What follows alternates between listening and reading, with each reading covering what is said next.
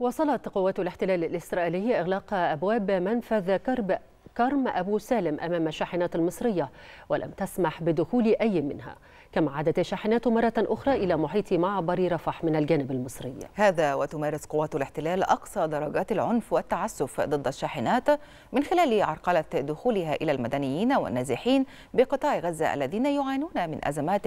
وكوارث إنسانية جراء الحرب الإسرائيلية. المزيد يطلعنا عليه مراسل التلفزيون المصري محمد الخطيب من هناك. نعم مشاهدينا الكرام بعد التحية لازلنا نتابع معكم كل الجهود المصرية المبذولة من أجل إنفاذ المساعدات المختلفة إلى الأشقاء الفلسطينيين في قطاع غزة. اليوم واليوم الثالث على التوالي قامت قوات الاحتلال الإسرائيلي بإغلاق أبواب منفذ كرم أبو سالم أمام الشاحنات المصرية التي كانت من المفترض أن تتجه إلى قطاع غزة ولم تسمح لأي منها بالدخول وعادت مرة أخرى إلى محيط معبر رفح من الجانب المصري ليكون اليوم هو اليوم الثالث وأيضا يوم وغدا يوم السبت هو يوم إجازة من الجانب الإسرائيلي فبالتالي يكون هناك أربعة أيام